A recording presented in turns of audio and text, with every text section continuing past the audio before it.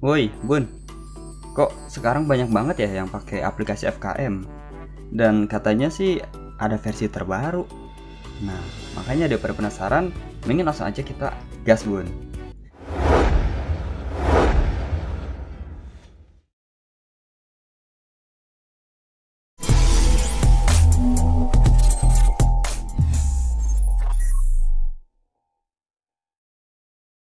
Cek 123 123. Oke Bun, balik lagi sama gua Bang Ojan.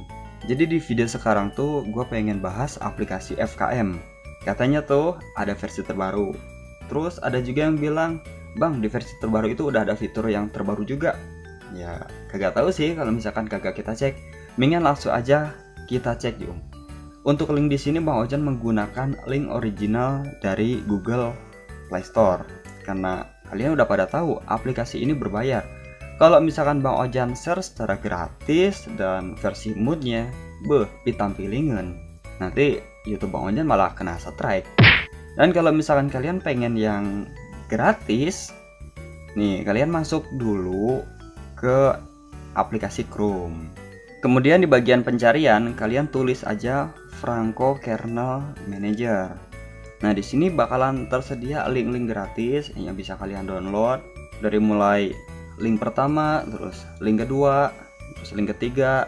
Pokoknya yang versi terbaru itu adalah versi 6.1.13. Oke, langsung aja kita lanjut. Karena di sini Bang Ojan udah punya aplikasinya dan langsung aja kita pasang bun. Nah ini kan bentuknya aplikasi, jadi kita cukup memasang seperti biasa. Jadi kagak perlu yang namanya mode magic. Soalnya ini bukan mode magic, Yung. Oke, di sini versi 6.1.13. Jadi langsung aja kita pasang. Oke bun, kalau misalkan si aplikasinya sudah terpasang, langsung aja kita buka aplikasinya.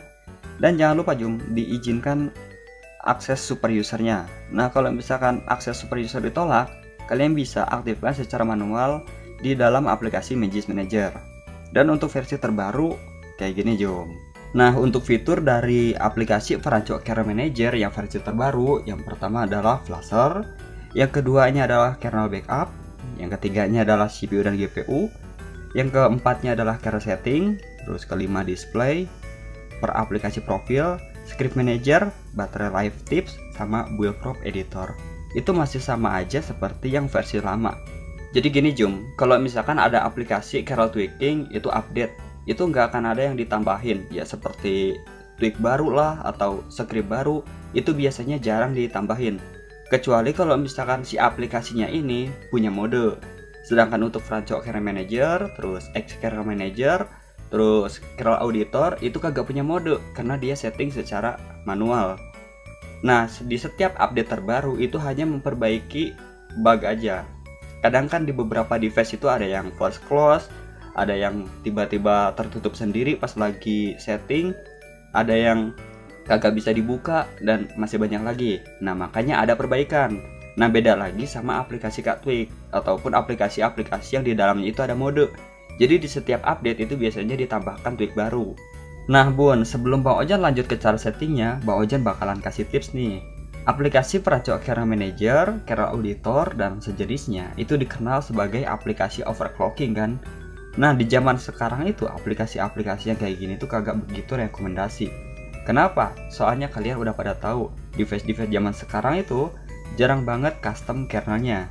Sedangkan untuk aplikasi ini itu mengandalkan custom kernel. Semua fitur-fitur yang ada di dalam aplikasi ini mengandalkan custom kernel. Ya meskipun kalian sudah menggunakan custom ROM dan sudah menggunakan custom kernel, tapi kalian udah pada tahu, kernel-kernel zaman sekarang itu rata-rata berjalan di kernel EAS.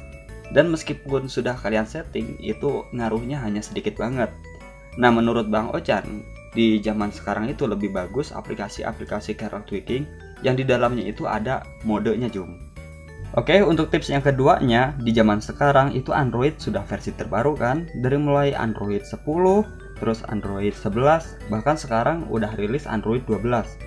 Nah, kalau misalkan kalian menggunakan aplikasi Franco Kernel Manager ataupun yang sejenisnya, dan di saat kalian setting udah pas, udah nyaman, udah di save, dan di saat di restart kalian masuk lagi ke Franco Kernel Manager, itu bakalan ke reset Jum.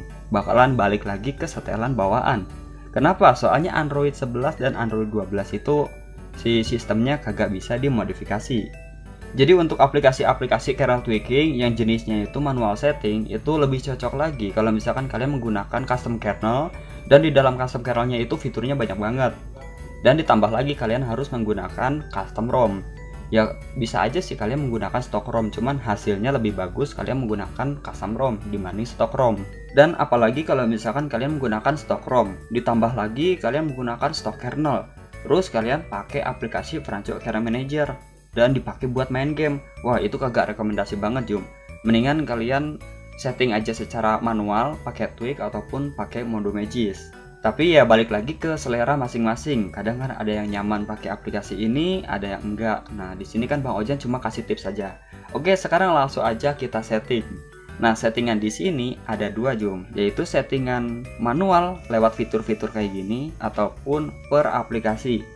Nah, minusnya kalau misalkan kalian setting manual lewat fitur-fitur yang model kayak gini, di saat kalian kagak main game, terus di saat HP-nya kagak dipakai, itu tetap boros. Jadi kagak ada baterai-baterainya. Nah sedangkan untuk per aplikasi itu fiturnya sedikit.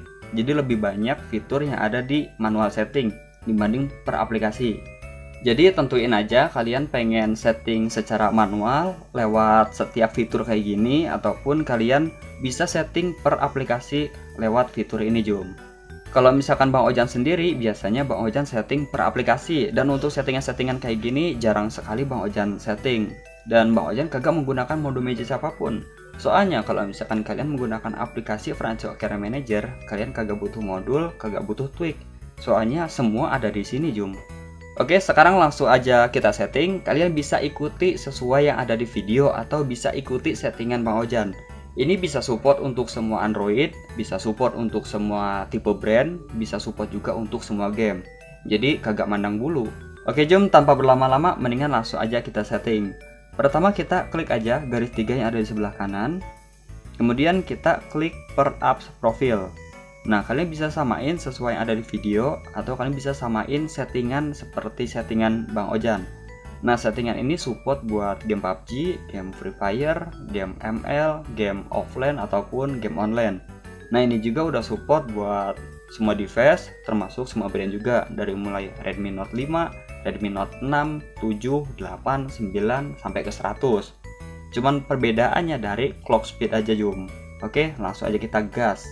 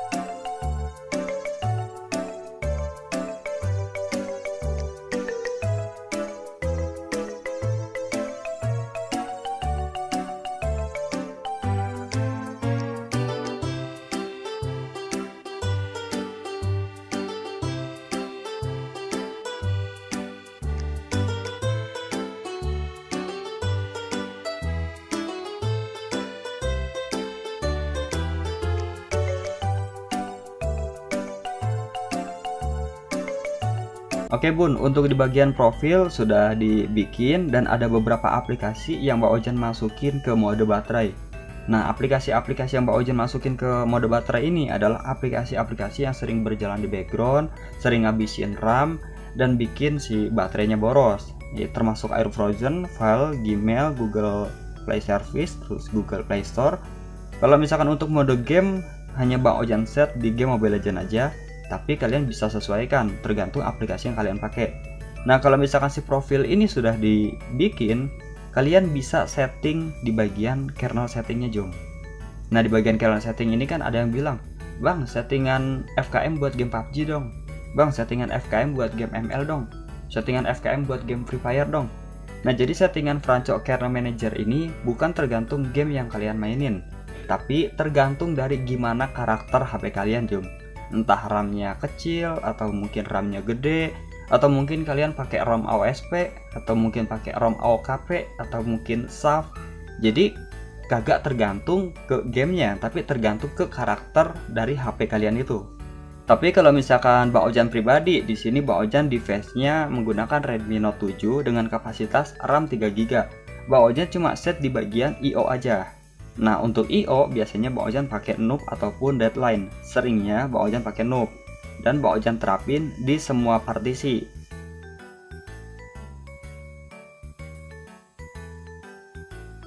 Terus Bang, ini di bagian memorinya sering di setting apa kagak? Ya, tergantung Jum. Kalau misalkan RAM di Android Bang Ojan itu emang mepet, tipis, ya contohnya masih di bawah 1200 MB atau 1,2 GB Bang Ojan cuma set di bagian LMK aja. Kalau misalkan RAM-nya itu normal-normal aja itu Bang Ojan kagak set. Bang Ojan jadi langsung lari ke miscellaneous. Nah di bagian miscellaneous itu Bang Ojan cuma matiin CRC terus fast, charging sama Bang Ojan dinyalain dan rubah di bagian TCP sisanya udah Bang Ojan tinggal main game. Jadi kesimpulannya nih, Franco Care Manager yang versi lama ataupun Franco Care Manager yang versi terbaru itu hampir kagak ada bedanya. Jadi nggak ada fitur-fitur yang ditambahkan. Karena Franco Kernel Manager ini mengikuti kernel custom yang kalian pakai. Kalau misalkan kalian menggunakan kernel yang stok ya mungkin untuk fitur di dalamnya itu bakalan sedikit banget. Kalau misalkan kalian menggunakan custom kernel yang emang over banget dan di dalamnya itu fiturnya banyak banget. Otomatis kalian juga bakalan nemuin fitur-fitur baru di dalam aplikasi Franco Kernel Manager ya meskipun kalian menggunakan yang versi lama Jung. Tapi kalau misalkan kalian menggunakan Android 11 dan mungkin Android 12, ya disaranin sih kalian jangan mencari aplikasi untuk menaikkan performa, tapi kalian turunkan versi Android, baru kalian mencari si aplikasinya. Oke, semoga aja video ini bisa kalian pahami meskipun Mbak Ojan ngobrolnya agak sedikit belepotan. Soalnya Mbak Ojan ini ngomong sambil setting Jung, jadi kadang ada kagak fokusnya juga sih soalnya dari pagi juga Bang Ojan belum ngopi So, kalau misalkan kalian masih ada pertanyaan ataupun masih belum paham, bisa tulis aja di kolom komentar atau kunjungi sosial media Bang Ojan yang ada di kolom deskripsi. Biasanya sih yang ditanyain, Bang, kok di settingan gua kagak ada move ya? Bang, kok di settingan gua kagak ada governor interaktif ya? Ya biasanya sih kebanyakan kayak gitu. Nah kalau misalkan kagak ada ya berarti kalian ganti kernelnya ke kernel custom seperti yang Mbak Ojan bilang di awal tadi. Kalau misalkan aplikasi ini lebih fokus ke kernel custom bukan ke kernel stock. Makanya governor di Android kalian itu sedikit banget. Tapi disaranin kalau misalkan kalian menggunakan kernel stock, kalian menggunakan aplikasi kernel tweaking yang di dalamnya ada aplikasinya. Eh maksudnya ada modenya Jum. Oke, gimana Jum? Sudah cukup menjelaskan? Sepertinya Pak Ojan harus pamit dulu, semuanya sudah selesai dan meskipun ada update terbaru, ya mungkin masih sama aja. Mungkin nanti untuk Franco Care Manager yang video selanjutnya Bang Ojan bakalan share profilnya atau scriptnya. Tapi sampai sekarang itu Bang Ojan belum nemu script yang bisa berjalan di aplikasi Franco Care Manager selain script yang ada di mode Magis apa lupa Bang Ojan. Oke, sampai ketemu di video selanjutnya Jum. Thank you.